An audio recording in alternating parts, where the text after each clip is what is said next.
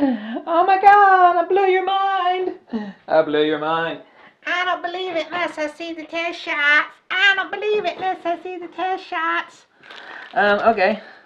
Homie has showed you a link in the prior two videos with uh, someone else's test shots. It's a hardcore fact that uh, uh, chilled down electronics uh, have better uh, electro electrical conductivity.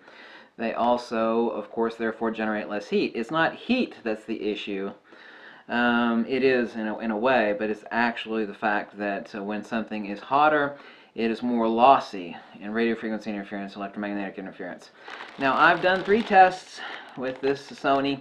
I gotta pop the card back in here. I'm letting it actual heat back up so that uh, condensation doesn't develop. I've done three tests with this Sony point and shoot camera. 15 minute test in the freezer, a 20 minute test in the freezer, and a half hour test in the freezer. I did a test down the hall that was very, very specific, exact same lighting, no flash, obviously.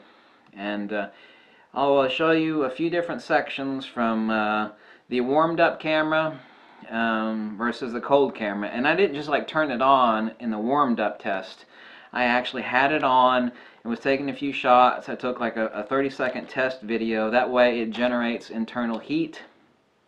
But also when it is hot, it becomes more lossy. See, the heat affects the uh, conductivity uh, uh, and as far as making it more lossy and vice versa. They both affect each other.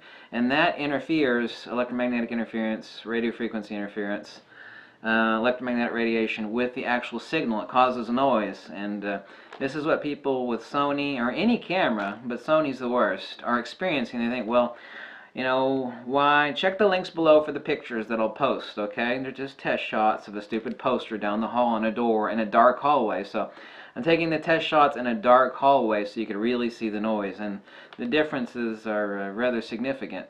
Um, um, and uh, they're certainly more so on a much larger sensor. I mean, there's a tiny little uh, compact camera sensor uh, inside this little uh, Sony point and shoot, but it applies to all cameras. You know, uh, optical uh, astronomy has known this for decades now, but photographers basically don't know it.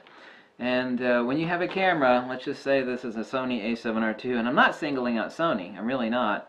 Um, you got a, a ton of crud just jammed right in against every other damn thing. And, you know, that's an undeniable fact. There's just a ton of stuff in there. That the noise, the electromagnetic radiation, and the electromagnetic interference, uh, electrical noise is no different than a signal that uh, comes from whatever shot it is you're taking because light and electricity, I mean all of this stuff is electromagnetic, okay? And they spill over and they interfere with each other. This is an undeniable fact. So test it, uh, check the test shots below even though it's been confirmed on the links I gave you in the prior videos, I thought I would confirm it for you because people are like, I never take any test shots, I don't believe you.